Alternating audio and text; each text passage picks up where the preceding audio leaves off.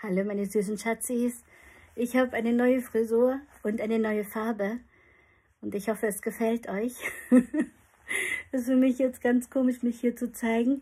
Ich bin ein bisschen heiser, weil ich mir nämlich gerade die Seele aus dem Leib gesungen habe. Und das hat mir unheimlich gut getan. Ich hoffe, es geht euch gut und wir sehen uns dann bald. I love you. Bis dann. Eure Sensitiva.